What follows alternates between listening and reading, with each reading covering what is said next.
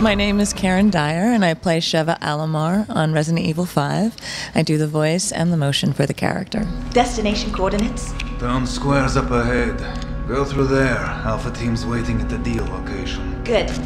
I've been working on the project for over a year now, and it's been quite a ride. Uh, I started back in the end of 2007. Uh, we did a lot of green screen preliminary shooting. Um, I did a lot of stunt and gun and rifle training and preparation for the motion capture sessions. There's there's quite a few moments that are in my favorites category. Uh, anything that had to do with action and the fight scenes and the stunts, I loved. Absolutely loved working and playing with the other cast members and the crew and the director. We had uh, such a, a, fun time on the set. It was more of a playtime than really work.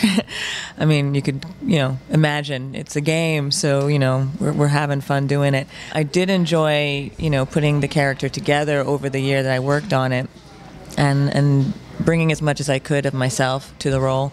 Um, I'm really proud of, of the character, and, and I think Shev is a really strong, great role model to have in a video game. Ready, partner? Locked and loaded.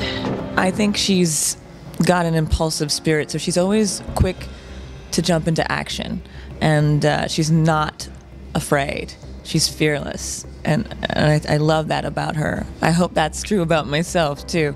I, I really hope you enjoy the game. I think you're going to have a blast. It's so much like actually being inside this movie that they've created because it's it's amazing looking and I think you're going to have a good time.